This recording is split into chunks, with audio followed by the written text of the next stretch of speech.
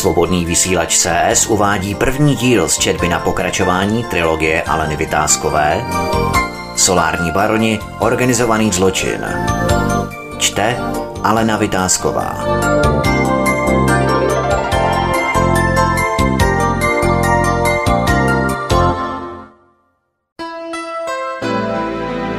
Kapitola 11. Krizový plán to ještě není.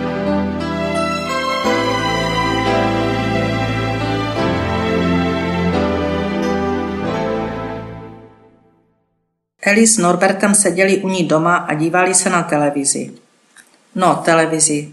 Tak se to nedalo nazvat.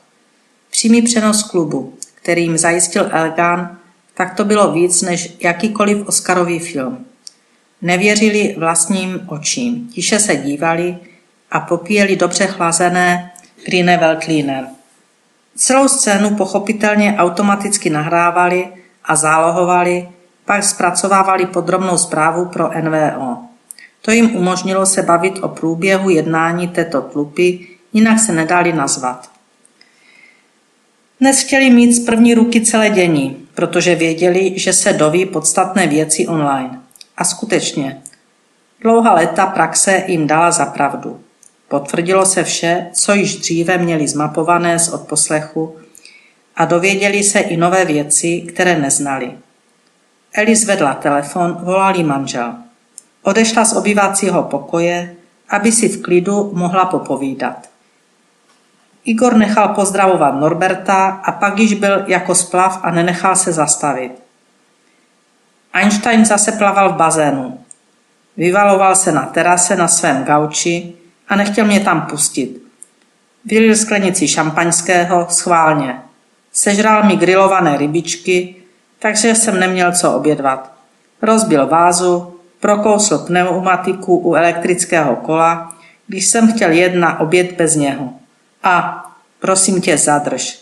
Přerušila Elis Igora. Dopovíš mi to za chvíli, jak se máš ty? Co kyčel, jsi v pořádku? No počkej, musím ti to vše dopovědět. A znovu pokračoval v kouscích, kterému Einstein provádí a přivedl si domů kočičku. No, to není kočička. Velikostí je jako puma. Prostě strašné. Roztahuje se tady, jako by patřila celá zahrada. Ale tak to neber, oponovala Elis. Myslím, že kočka se hodí. Aspoň tam nebudou žádní hlodavci. Kočka je u domu požehnání a vůbec, jak k ní Einstein přišel. A to se snesou? Prosím tě, Einstein, Einstein, tvůj rozežraný Einstein. Je to hajzl malý. Oba dobře víte, že kočky nemám rád. A to, co dotáhl domů, je nejméně třikrát větší než on. Nejsem si jist, že ještě neporoste. Veterinář mi říkal, že neví. Kočka to je poslední hřebíček. Einstein si tu dělá, co chce a tu potvoru chtěl včera dotáhnout domů, myslím tu kočku. To jsem mu nedovolil. Večer byl uražený a spal v hale. No a od rána tak vyváděl, dělal mi vše na schvál. Mám nervy na dranc. Otevřu ráno dveře a tam ta potvora. Vrhla se na Einsteina a vítali se, jako by spolu vyrůstali. Einstein se mohl přetrhnout, jak se předváděl – proto šel asi plavat. Já mu asi zaplatím letenku a pošlu ti ho do Prahy. Miláčku, uklidni se. Einstein teskní a je mu určitě smutno. To musíš vydržet a být mu oporou. Co nejdříve přijedu aspoň na týden domů. Je mi po vás moc smutno a tady je to opravdu strašné. Počkej, dám ti Norberta, chtěl s tebou mluvit. Posílám oběma pusu, vlastně již třem. Prosím tě, dej mi Norberta, nebo se fakt rozčilím. Tu pumu líbat nebudu. Elis předala telefon a šla se podívat na vývoj v klubu. Z kuchyně pak slyšela jen hyhňání Norberta, což bylo vždy, když telefonoval s jejím mužem. Ti dva si náramně rozuměli. Upila vína a soustředila se na obrazovku.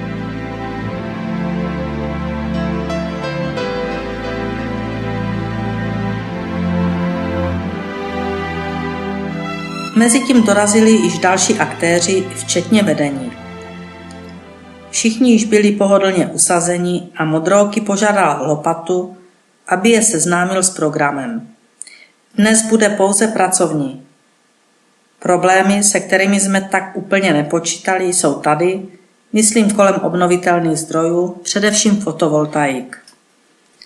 Proto jsme připravili zhrnutí situace a poznatků, dále metodiku podpory, kterou jsme měli zpracovánou při zahájení projektu a, a no, návrh opatření. Teď si připadám jako za sociku. Nechceš přidat ještě poučení z krizových let a perestrojku?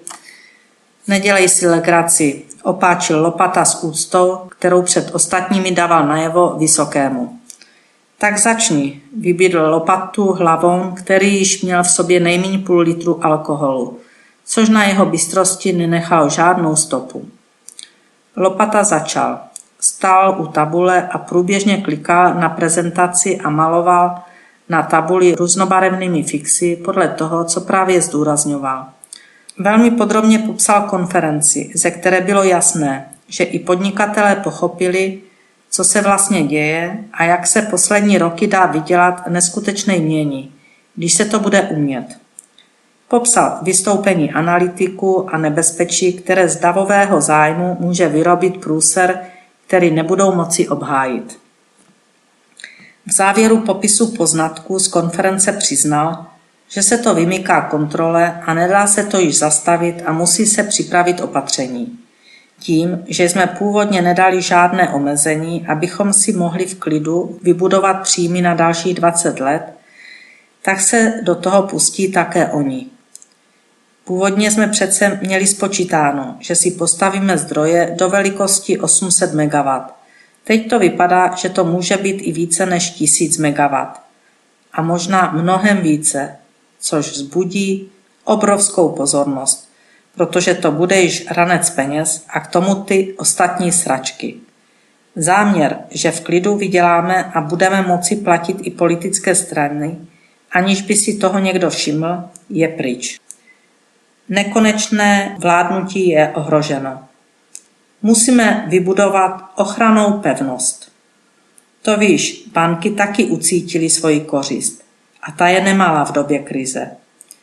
Do prezentace se vložili ostatní, aby se předvedli před politickým vedením. A který vůl to bude brát na úvěr? Nárostla křídla opět Mílovi, kterému se ulevilo, že vedení neskoumá, kdo je za tu nepovedenou konferenci zodpovědný. Lopata nechtěl situaci stěžovat a proto jen koutkem úst dodal Mílo, Mílo, každý nemá našetřino jako ty. Každý nepotřebuje vyprat prachy v Hongkongu. Představ si, že si někdo bere úvěr ne proto, že ho nevrátí a s prachama zdrhne. Jsou i takoví volové, že si berou úvěr proto, aby podnikali. A v akcích, kde je garance státu, jsou banky jak v tranzu. To bude mazec. Na autistu to bylo příliš mnoho informací, které neuměl strávit, natož vyhodnotit tak jen seděl a dělal si nesmyslné poznámky do svého čtverečkovaného sešitu. Za to houslista byl okamžitě v obraze. Dobře, tak pokračuj. Situaci si nám popsal, můžeme očekávat boom, který by znamenal ohrožení našich plánů a někteří chytráci by to chtěli zastavit. Rozumím tomu dobře. Jasně, rozumíš úplně přesně.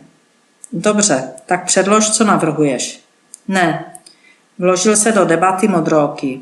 Nejdřív zrekapitulují naši metodiku podpory, abychom viděli, kde jsou trhliny a kde to musíme zaštepovat, jak říkala moje babička.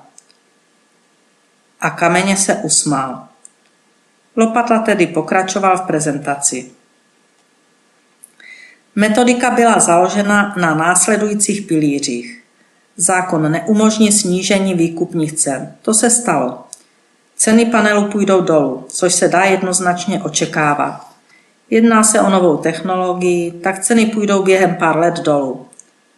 Naše očekávání se potvrdilo, že ceny panelu letí dolů jako divé, jen co se do toho pustili Číňané. Vše se musí udržet pod pokličkou, což se téměř povedlo, kdyby nebyla dnešní konference. Tady vidím první trhlinu. Za chvíli se k ní vyjádřím v části nápravných opatření. Legislativa nesmí být jasná, abychom mohli pružně pracovat, to se také povedlo, protože nikdo z nás nevěděl, co to vlastně obnovitelné zdroje jsou. Nesmíme dát žádný finanční strop na podporu, protože by nás to mohlo připravit o prachy. To se také podařilo. Není dán ani počet výroben, ani jejich výkon, ani strop peněz, které na podporu vynaložíme. Jak jsme v metodice stanovili, je to plovoucí, nekonečná výše. Zásadní byla naše privátní distribuce, která bude dodávat do přenosovky i to, co se nikdy na těch dřevěných panelech nevyrobí. A když se dodává to, co se nevyrobí a za co se platí, tak se to nesmí měřit. Tomu nerozumím. Opět se chtěl předvést Míla. Lopata, aniž by odpovídal na jeho otázku, pokračoval. A když se to nesmí měřit, tak nikde v legislativě nesmí být povinnost mít obchodní měření elektroměr. Co není v legislativě exaktně uvedeno, to je nenapadnutelné. Chápeš? A otočil se s grimasou na mílu. Nejsme omezeni ničím, pouze některými omezenci. A opět se významně otočil na mílu a velkou kapsu. V metodice je trhlinka. Nyní vidím jako malou nevýhodu, že se nám bočním vstupem narve do projektu ta podnikatelská cházka. To musíme také řešit. Konta na Kypru i jinde jsou funkční. Bankéř vše zajistil. Naše firmy stavějící elektrárny jsou v ohrožení, již to dělá skoro každý. To je špatné. S tím se v metodice nepočítalo. A co náš úřad? Co fík? Ten s tím může zatočit, ne? Zeptal se velká kapsa, aby zapůsobil. To si děláš srandu. Fík může hovno, ale úkol by mohl dostat. To není jen o tom, aby si chodil kontrolovat, jak rychle se mu budou stavět jeho elektrárny. Ale teď mě nepřerušuj, až dokončím prezentaci. A pokračoval.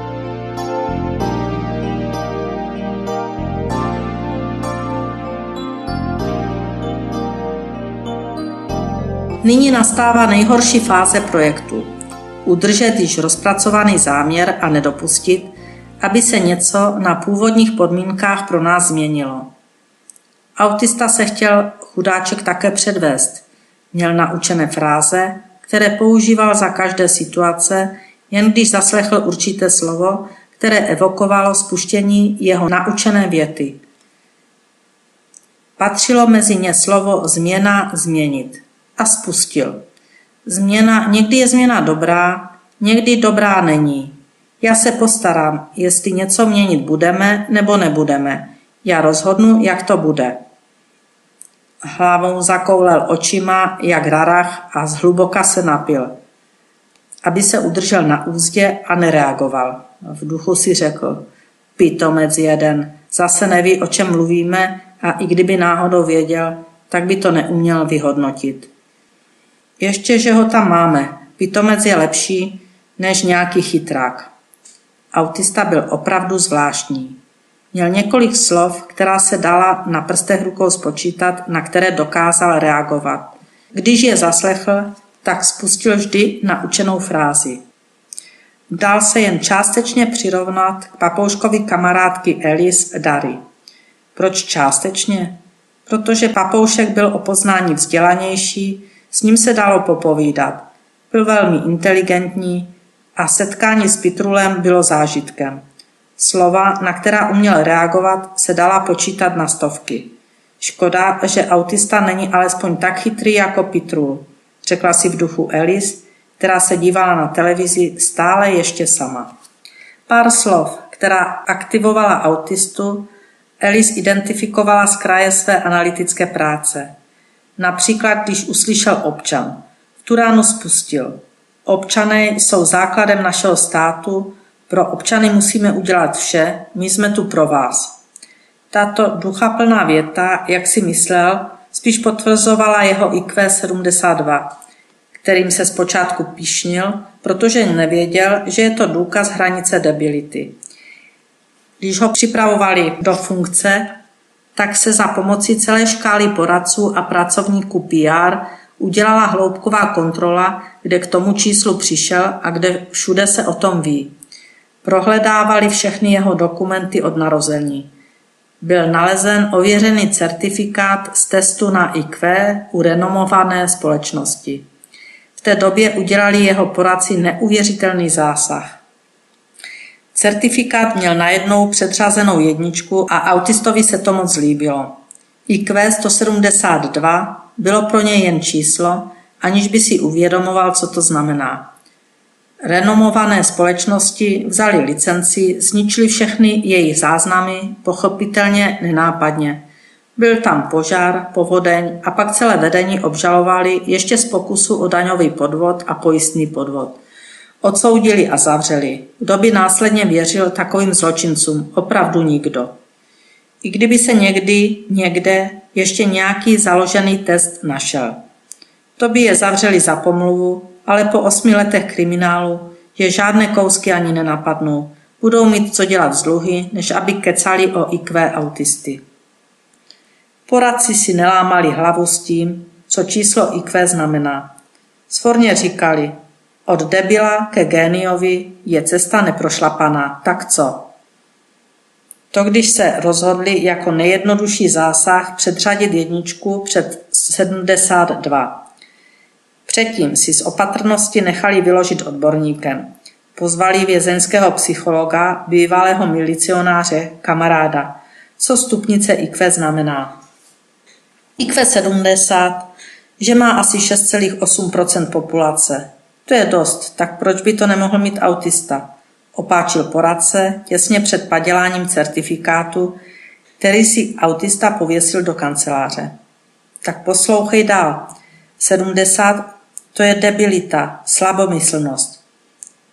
Je-li dobře veden, může zvládnout zvláštní školu. 80 to je již nižší stupeň slabomyslnosti. S problémy zvládne základní školu, úspěšný může být ve zvláštní škole. Chápeš? On je mezi tím 72, to je fakt dost špatné na jeho pozici. Hmm, a jak to vypadá u 172? Tak to není přesně stanoveno. IQ nad 140 má jen 0,2% populace.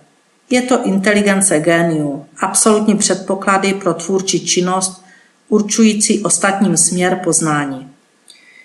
Poradci se shodli, že padělání certifikátu je nutné a tak učinili se slovy dáme národu génia.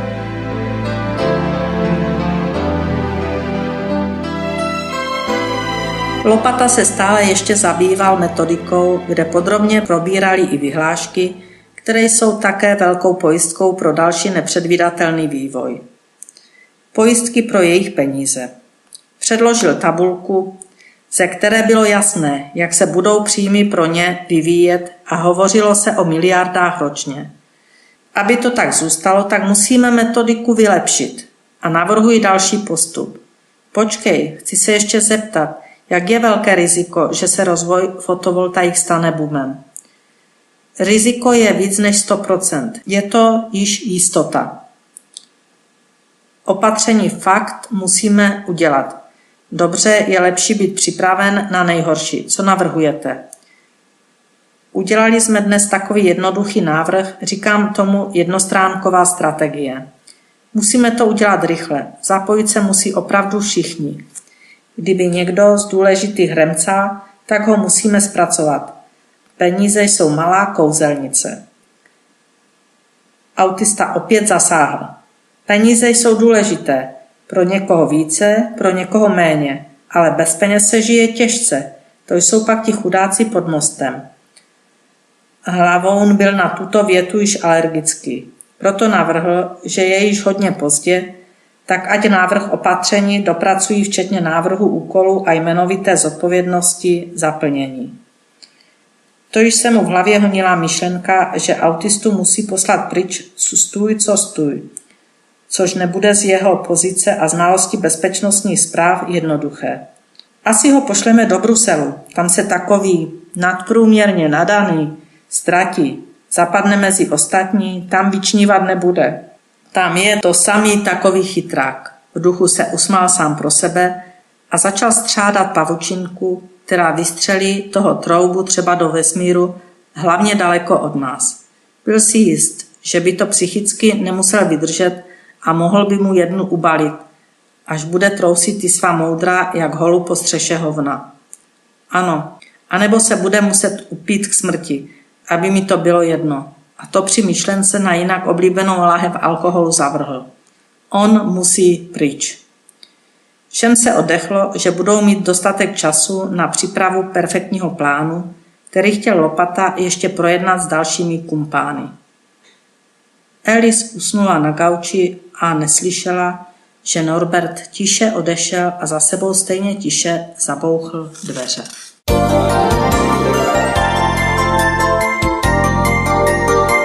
Svobodný vysílač CS uváděl první díl z četby na pokračování trilogie Aleny Vytázkové Solární baroni, organizovaný zločin. Četla Alena Vytázková.